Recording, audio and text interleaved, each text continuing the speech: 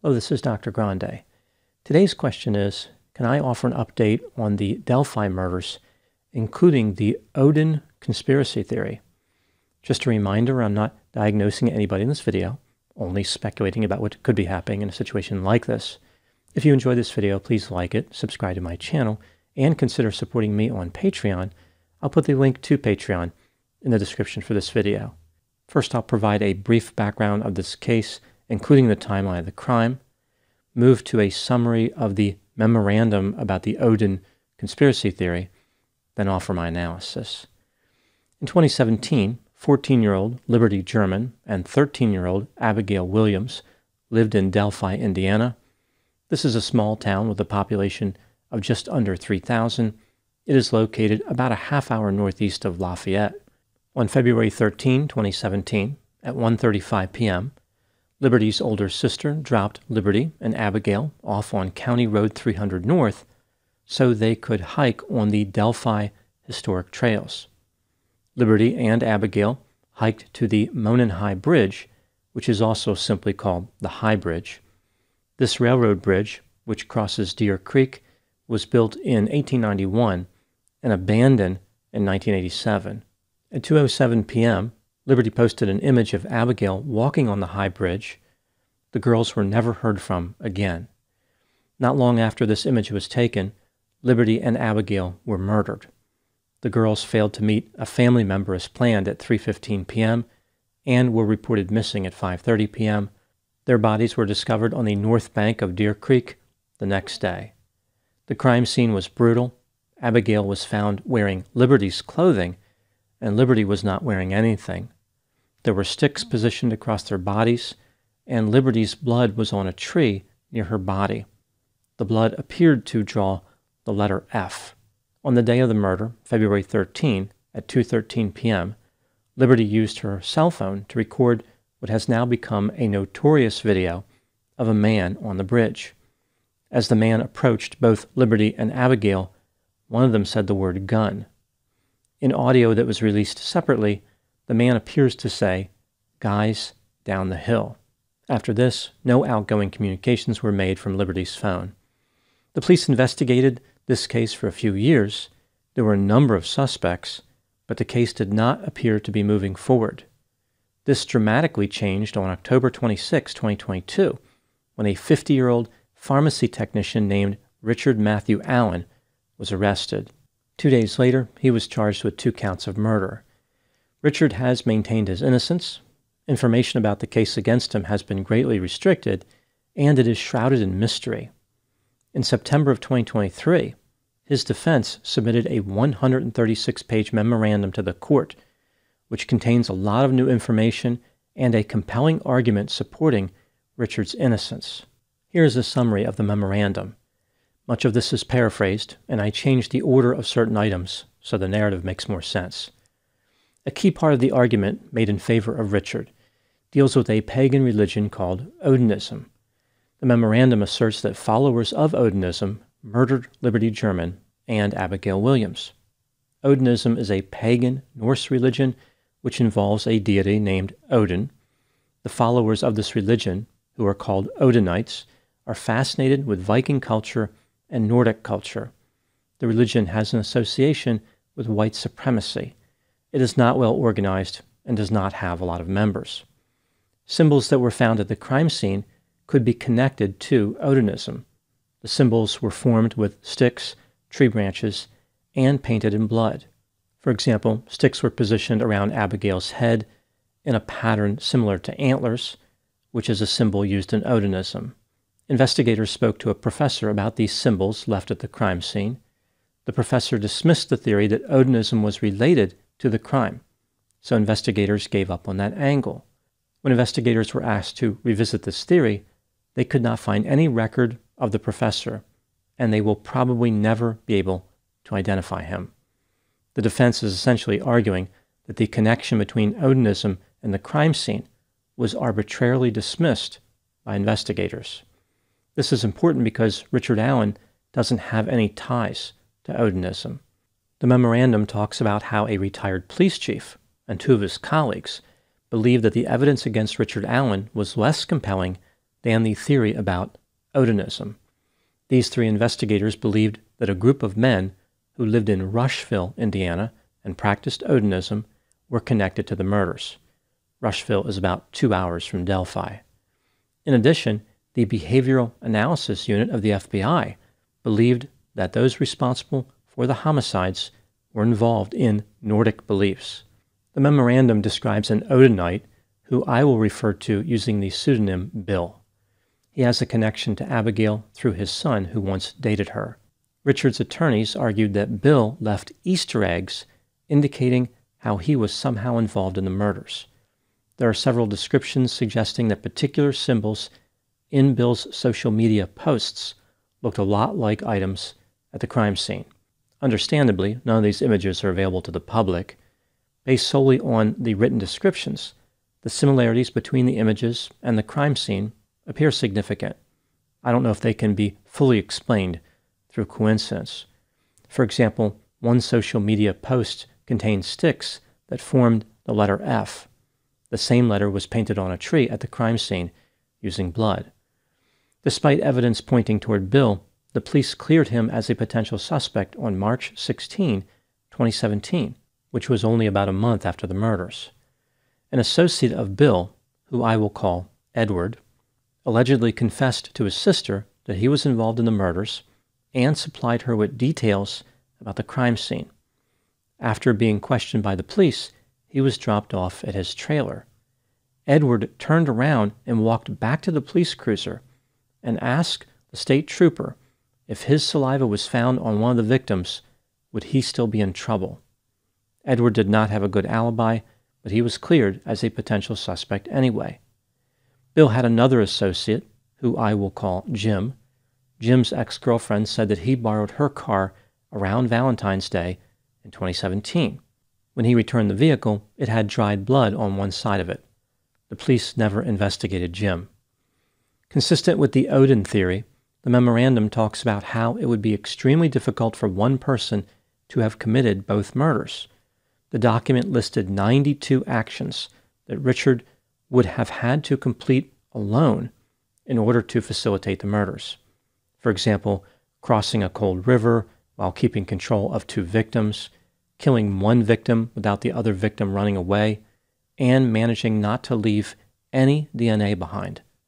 All these activities took between 17 minutes and 1 hour and 17 minutes after the man was captured in the notorious Down the Hill video at 2:13 p.m. Another component of the Odin theory suggests that two Odinites work as correctional officers in the jail where Richard is being confined. These officers allegedly displayed patches containing Odinite symbols. They threatened, intimidated, and mistreated Richard and they interfered with him having private conversations with his attorneys. The memorandum argued that investigators falsified information to support their timeline. For example, the police told a story about a woman who saw a man on the high bridge and a vehicle in a parking lot nearby. The woman's description of the man did not match Richard, and her description of the car in the parking lot did not match his vehicle. Investigators claimed that a woman saw a man wearing a blue coat with blood on it, the woman actually said the man was wearing a tan coat and his pants were muddy. When stepping back and looking at the entire memorandum, Richard's lawyers are essentially saying that there are alternate suspects, the police concealed exculpatory evidence, and there is no meaningful evidence against Richard Allen. Now, moving to my analysis.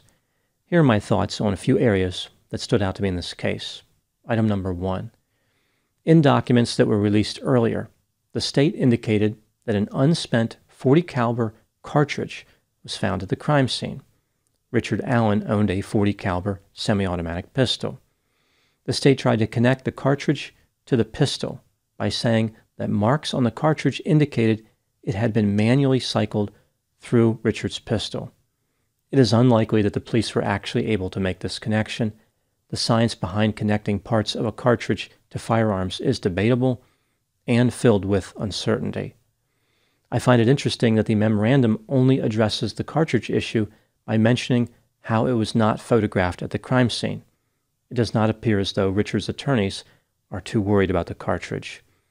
Item number two According to the state, Richard allegedly confessed at least five times in recorded jail conversations with his wife and mother. This is a bombshell allegation, yet it's not mentioned in the memorandum. Perhaps Richard's attorneys are not too worried about it, or they don't have a good explanation for the alleged behavior. There are some references to the idea that Richard is frightened and maybe not thinking clearly in jail. Perhaps this could explain his alleged incriminating statements. Item number three Richard's attorneys argued that multiple followers of Odin were involved in a conspiracy of some type to commit the murders. They offered some evidence connecting these people to the crime, but it's not overwhelming as they characterized it.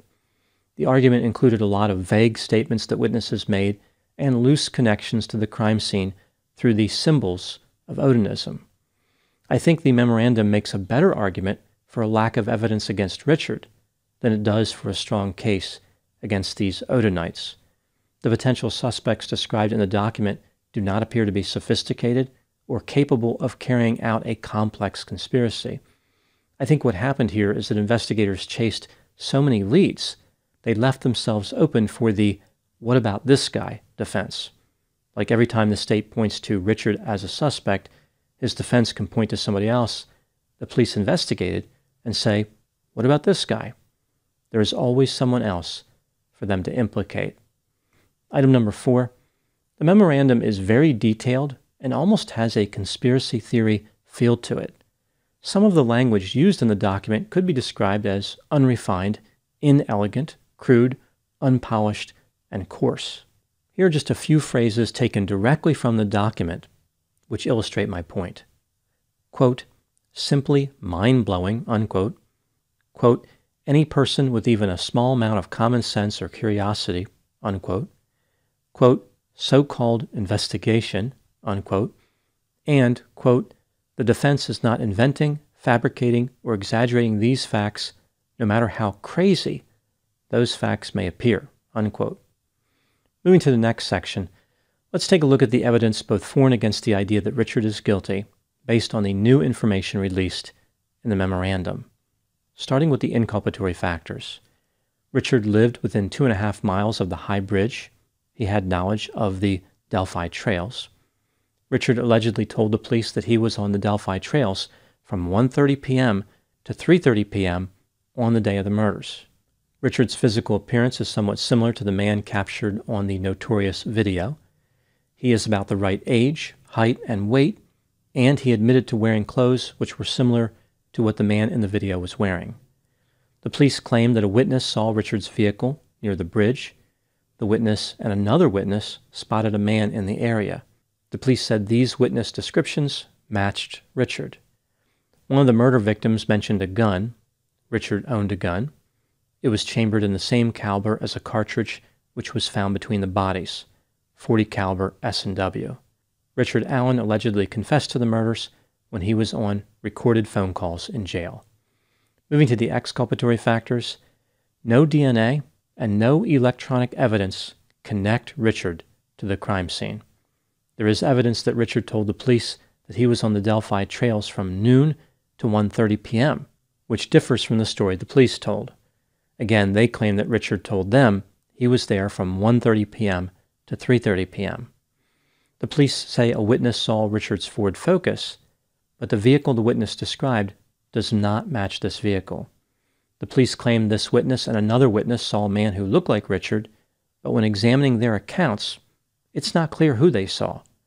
The same witness who allegedly saw his vehicle described a man in his 20s with a medium build on the high bridge. This doesn't sound like Richard at all. The other witness described a man wearing a tan coat and muddy pants, which does not match the man the other witness described. Three police officers investigating the murders believed the Odin theory could be true.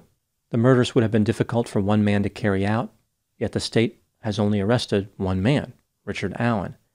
If Richard is innocent, it is not inconceivable that he would make incriminating statements to relatives due to the mental health stressors being placed on him. When considering the evidence in this case, do I think that Richard Allen is guilty?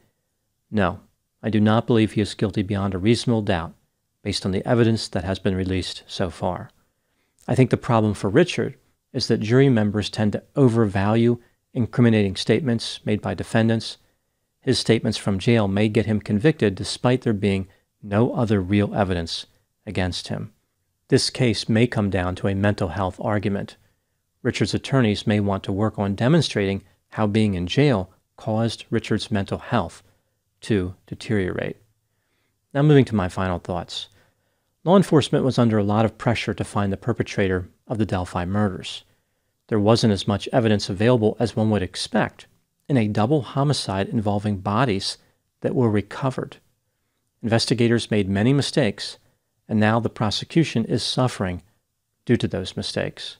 Increasingly, it seems as though either Richard Allen was a master criminal who managed to pull off the murders without leaving any real evidence behind, or he is a victim of a corrupt and haphazard investigation.